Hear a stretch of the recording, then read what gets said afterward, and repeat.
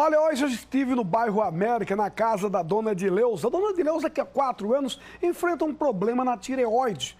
Ela já fez todos os exames, pagou do próprio bolso, mas até hoje não conseguiu fazer a cirurgia. Vamos mostrar o problema da dona Edileuza. Põe na tela. Olha, e a história se repete. Uma pessoa fica doente, vai ao médico, lá é diagnosticado com um problema. Aí parte para fazer a cirurgia, mas precisa dos exames. Se for pela rede pública, vai demorar muito. Aí, resultado, a pessoa vai e paga todos os exames. Aí vai para o SUS. Quando chega no SUS, agora, aí é que está o problema.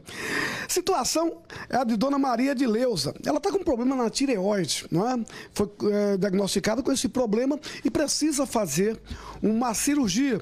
Só que ela já foi fazer, fez os exames, tudo em clínica particular, tirou do próprio bolso, pagou, mas quando chega no SUS, esbarra numa fila sem tamanho. Há quanto tempo a senhora está sofrendo, dona Maria de Deus, com esse problema? Hã? Já tem uns quatro anos. Quatro anos. O que é que a senhora sente? Aí, quando eu vou comer, não aguento mais comer, que ela está crescendo por dentro e não, não aguento tomar água. A água tem que tomar de pouco, senão se engasga. Também com água? Com água. Porque até quando eu engulo assim a umidade, eu sinto ele porque está crescendo muito. O médico disse que ele está crescendo.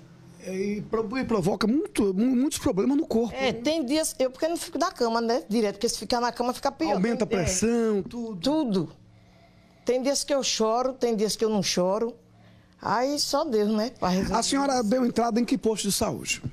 Eu dei entrada aqui, depois me mandaram eu ir para. Aqui aonde? Aqui, um posto que tem aqui. No bairro América, né? É, no bairro América. Certo. Aí daqui fui para o como é o nome? Que... Hospital Universitário. Está aqui o nome Hospital Universitário, foi. onde foi feito esse procedimento. Está aqui, Central de Regulação.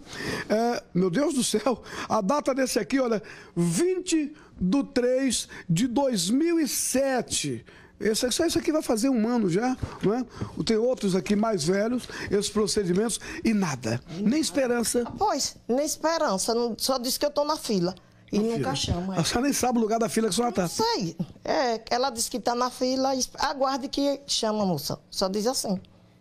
E o médico de coração que disse que era para. Vou toda, todo, quase todo dia eu vou lá no hospital. O problema da tireoide é que uma coisa puxa a outra. Ela tem que cuidar, porque daqui a pouco vai afetar o coração, afeta uma coisa, afeta outra, e resultado vai ter vários problemas, várias cirurgias fazer. É melhor fazer logo essa, né?